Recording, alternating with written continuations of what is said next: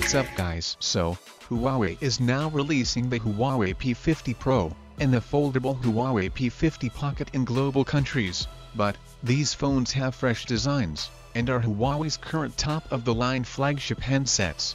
On the other hand, Huawei is also working on a new premium device the Huawei Mate 50 series, which could be released in July this year, which is about 3 to 6 months away and we've already started seeing renders and leaks of the upcoming Huawei P60 series.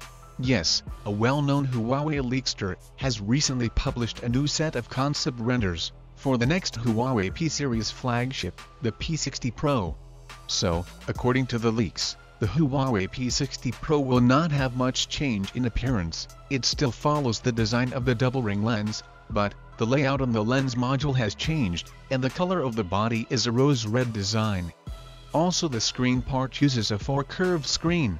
So, the body of Huawei P60 Pro looks more rounded and younger. After years of experience, Huawei mobile phones have improved the texture of the body, and their industrial design capabilities are now looks quite similar to the Apple's design. Anyway, moving on to the back side, Huawei P60 Pro renders shows a massive camera system on the phone's backside the layout of the lens is completely different. Huawei P60 Pro puts the independent main camera in a ring lens module. The focal lens and sensor flash are integrated into another ring lens, and the ultra-wide-angle camera and primary color camera are placed outside the ring camera module.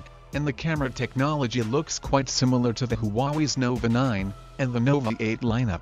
Also Huawei P60 Pro is expected to be equipped with a 100 megapixel main camera, because Huawei has already begun to carry 100 megapixel lenses on its mobile phones.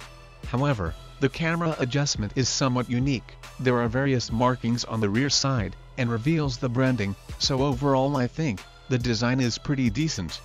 But, the question that everyone is more concerned about is, what chip configuration? the Huawei P60 Pro is equipped with. There is still no solution to this problem, for the time being, but, Huawei P60 Pro mainly focuses on the imaging system, so the configuration of the processor will not blindly pursue high-end, but, this performance configuration is enough for the experience of Huawei P60 Pro, and looking at the sales of Huawei P50 Pro, and Huawei P50 Pocket, it is clear that the lack of a 5G network will not have much impact. Anyway, when it comes to the phone's release date, because of the US sanctions, Huawei has been unable to launch two flagship phones in the same year, so the company has now divided these launches into two years, and we may see the Huawei P60 later this year, or in 2023. Anyway, do consider subscribing for all the latest updates on the Huawei. And my name is Arjun, this is Digital Outside, so as always, I'll catch you guys in the next one. Yeah!